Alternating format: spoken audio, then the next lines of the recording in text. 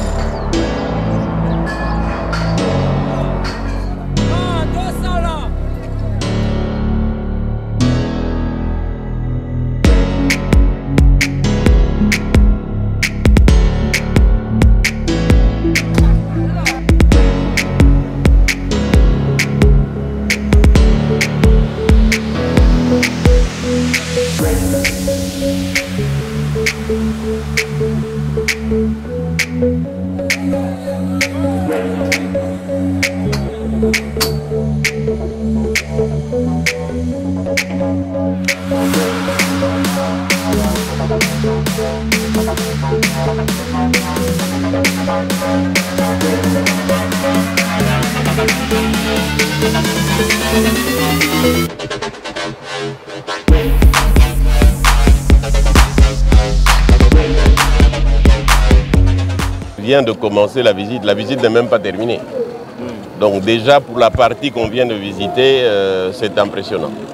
On nous a donné les explications. C'est 4 hectares et demi hein, de, surface, 4 hectares et demi, 630 magasins et toutes les infrastructures, euh, électricité, eau, tout y est. Donc je pense que, et l'AD vient de le dire, ce marché ici, c'est un marché qui doit, dans la ville de Kinshasa, pousser au développement des petites et moyennes entreprise congolaise nationale. Donc nous, nous sommes venus en tant que FEC pour promouvoir auprès de nos membres de venir s'installer au marché parce que les conditions d'un marché moderne y sont. Nous avons tous grandi à Kinshasa, on savait à quoi ça ressemblait. Ce qu'on vient de voir, euh, je ne sais pas s'il y a beaucoup de pays d'Afrique qui ont ce type de marché. Je pense qu'il n'y a pas de bâtiment dans la ville, à part à l'époque comme etc., qui est ce type d'infrastructure qui rassure. Avec l'aide d'experts que j'ai vu ici, je vois que euh, toutes les normes de construction ou d'architecture sont respectées et nous allons attendre seulement à la fin pour voir comment le tout va euh, se présenter. Mais sinon, on trouve que tout a été respecté et ça évolue très bien. je pense que nous aussi, on pouvait dire qu'on faisait partie de ces gens-là parce que c'est la première visite. Vous savez que pour accéder au marché central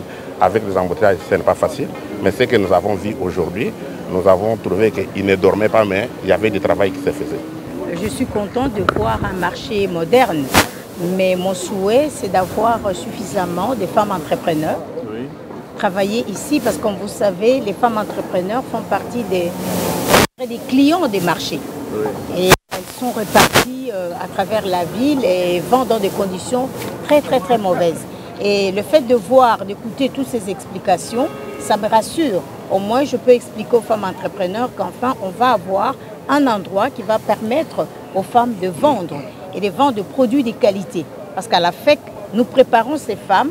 à pouvoir euh, distribuer, mettre à la disposition de la population un produit de qualité, de, bonne, euh, une bonne présentation. Et donc avec un marché pareil, je pense que les femmes entrepreneurs trouveront leur compte.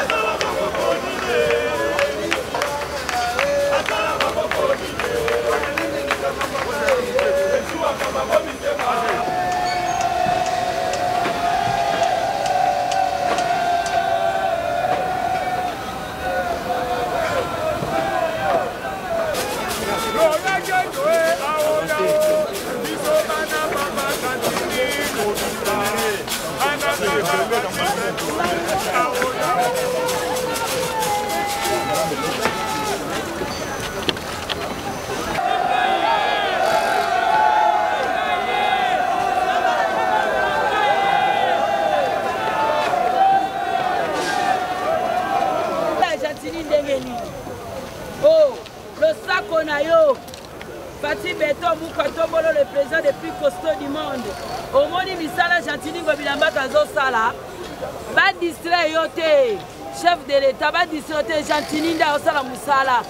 oyo tomona yango kaka na dubai a emonana te o oh, bazoya koplate yo gentini abanda mosala ntongo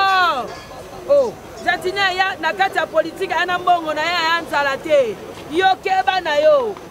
omoni yo na otanga nkombo no te baopekisa nga mesi nakebisi yo mpo oyoki yango tala nsima zonga moto e eh, boniko toboyi tribalisme o oh, boni yo okuti kiti ya gentini efandi yo olingi oyo abatia yo nani yo okoka misala oyo kotonga zando eza pete yo okoka ngo o oh, boniko gentini aleki bino tu mukwa tobolo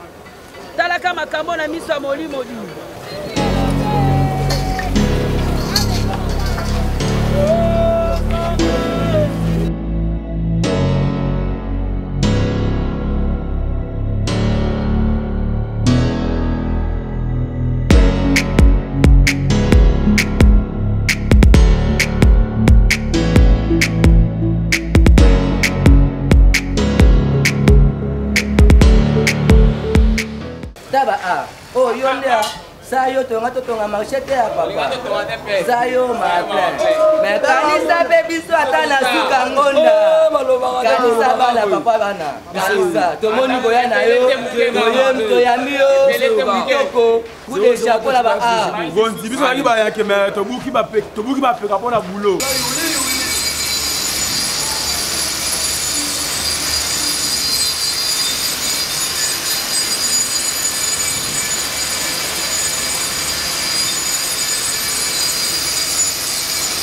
nzambe abakisela bino botomama lisusu koleka ya malamu mosusu eya ata mboka po biso bana mboka toza toujours misala Merci na Fatshi bientôt l'international papa bana. Merci papa Ngobila. Coup de chapeau papa na ngai. Nzambe amona bino ya makasi sueya koleka su oyo mpo mboka ekende liboso merci papa na ngai bopambwama ya koboloba ebele eza te me misala kaka nde ya po biso mpe tozala kaka bien po misala eza na nzoto na maboko na mutu kasi esenga fo toexploite yango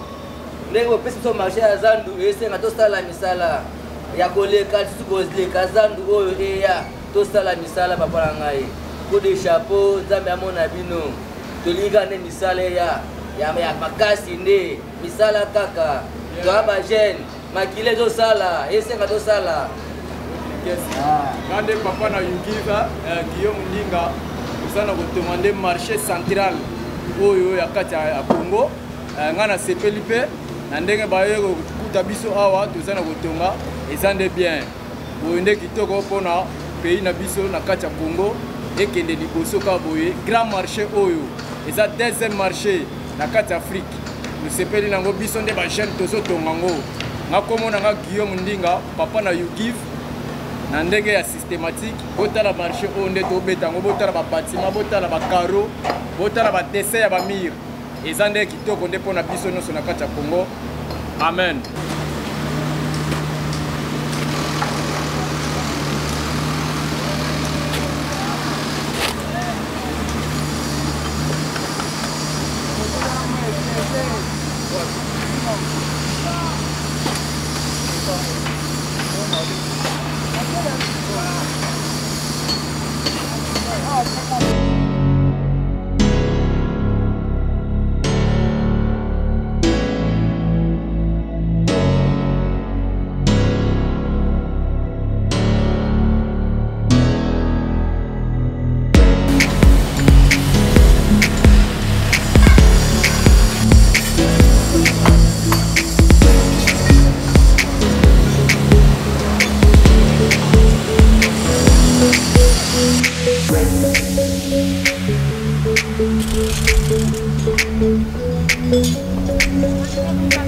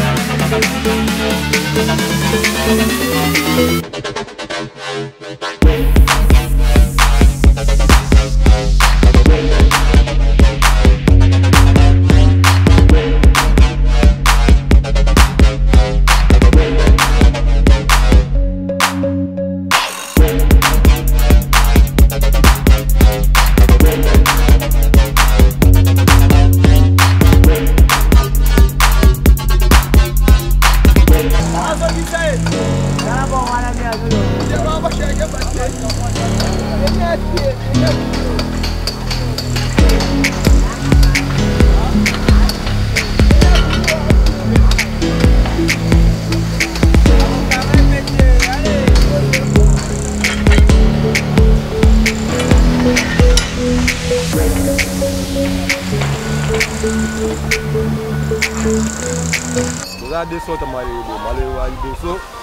na ya mibale toza ya premier couche ya malelo ya liboso deuxième couche nde yango tozobeta oyo eza na pasi deuxième niveau kala mingi te ti 12 mois ifu deja ezala esili deja toforce nzambe apesa biso makasi kaka otala bakoyi balukela biso su proye mosusu tokota tobunda papa gouverneur gentini makangodila na eloko azosalela biso eza bijou ya mboka na biso honneur ya mboka tozosepela na eloko azosala vraiment topesa na bamama na biso batekaka mipanzi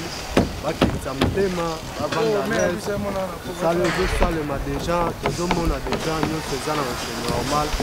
disi mpe tozokoma likolo ya wenze tozobanda kopesa awa tokolakisaka bana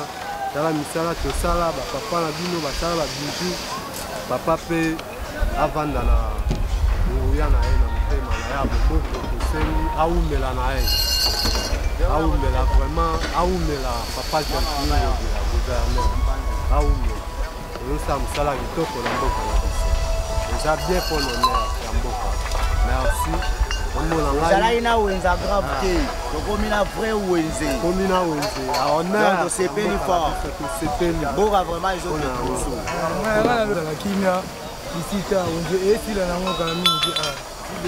sula décembre tokoma quelque mwa kuna esani esila awazalaka kima awazala motema likolo likolo te papa gentili asali volonté na ye mpo na biso bakongola atonga biso konse moko ya niveau moko ya likolo se biso moko bakongola totravaya yango totravaya wana makasi na apesi na merci na te gouverneur de la ville de kinshasa gentini mobila yango yango wana etonga makasi mpo tomona boye ya makambo oyo aza komona nanu te me makambo akonzi basala banso eloko moko ya bien talaka wete na biso mama na wete oyo tomona nanu te me tokotonga siko to napesa mbote na fati bedor ndo na gouverne na biso ngobila jasmin ngobila azosala biloko ya bien siko nde biso mpe toza na esengo mpo oyo eza ndo eza mpo ya biso moko bakinoa eza mpona topesa baboti ebele mpo na bango basala eloko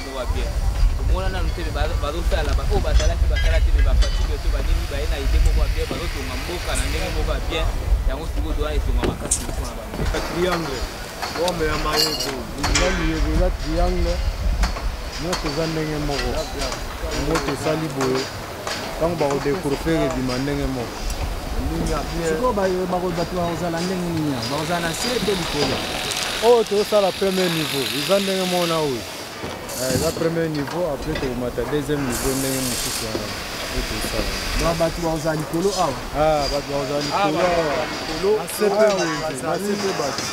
likolo mpe kuna bato bazali etage nyonso ah, nyonso omona bato vraiment eza ebale eza makambo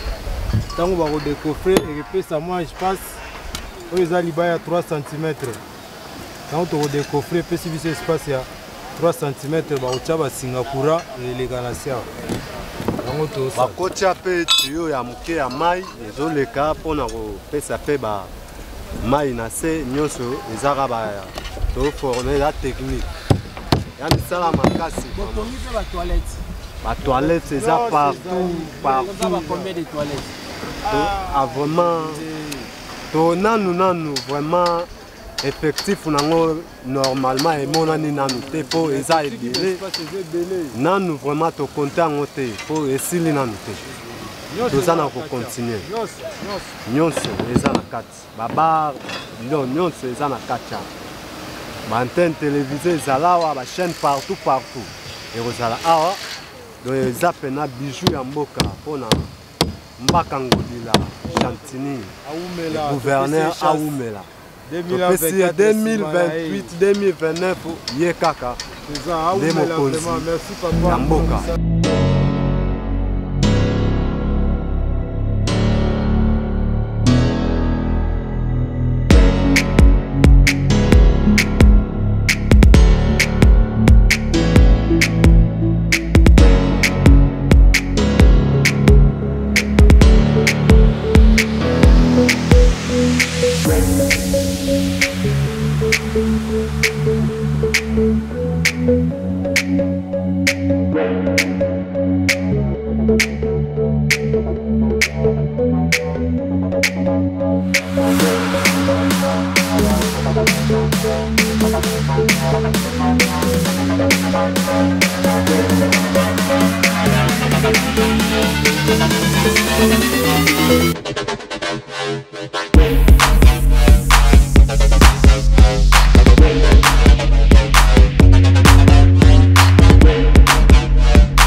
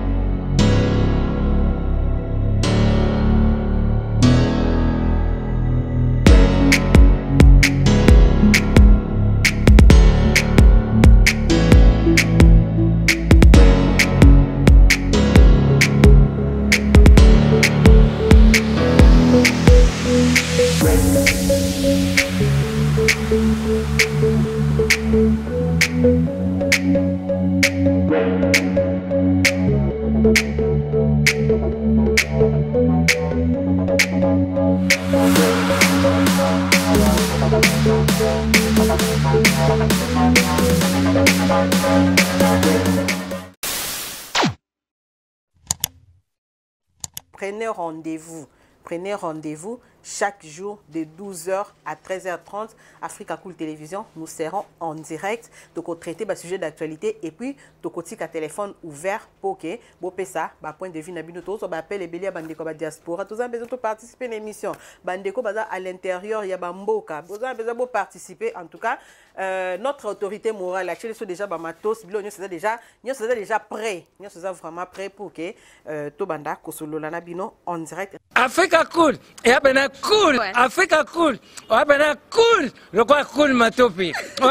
afakulu toujours toujours toujours afakulu toujours toujours afakulu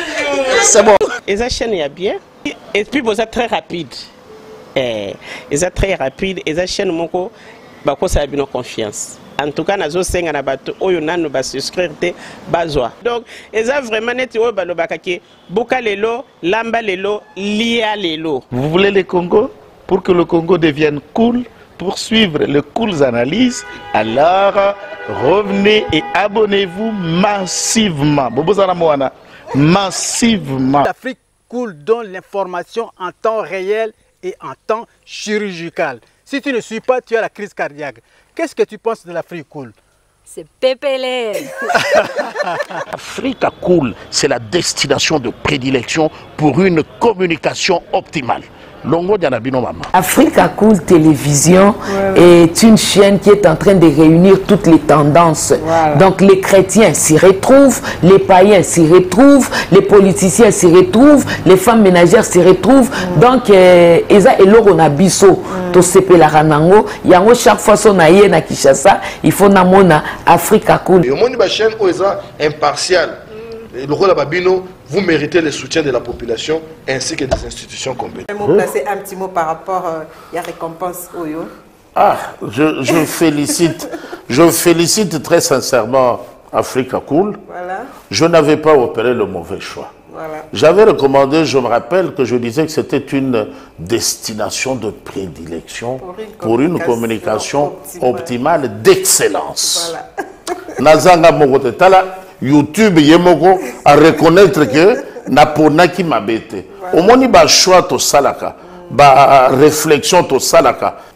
tikala kaka abonné ya africa cool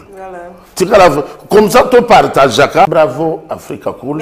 bravo bino mutu bosabonne parce que eh, trophée ezali ya bino ezali partage